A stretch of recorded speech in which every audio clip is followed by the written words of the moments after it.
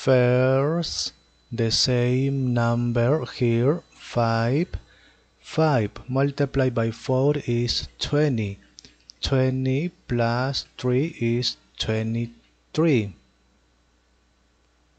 Finish. More examples here.